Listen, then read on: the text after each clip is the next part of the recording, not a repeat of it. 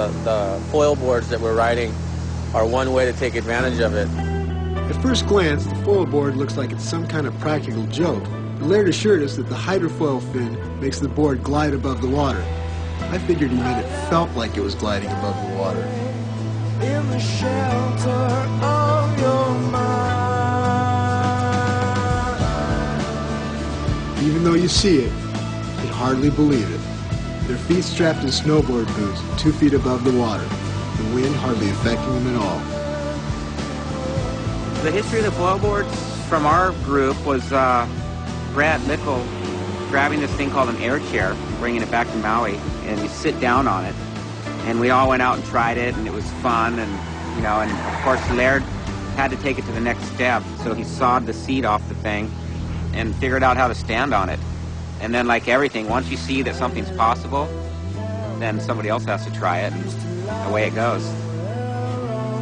There's thousands and thousands of surfboard shapers, and there's like one guy making this thing that you can sit on, and um, he doesn't even know we're standing on him yet. Laird and David spend as much time in each other's garage refining the foil board's design as they do riding it.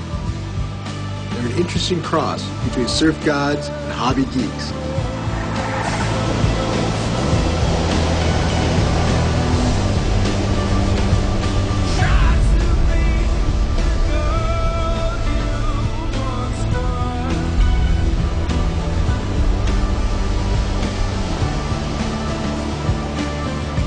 foil itself actually uses the energy of the wave under the water, touching a deeper source of the wave.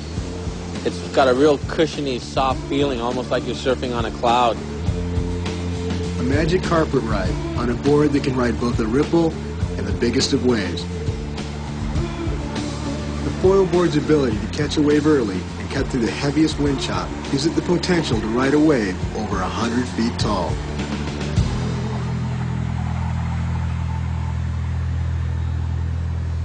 I think when um, actually Laird went to school at this place, they tore it down. It's old now, but uh, I think this is where they came up with the idea for the hydrofoil. It's pretty cool, you know. See, they figured out it's better. It's better to use it in the water though.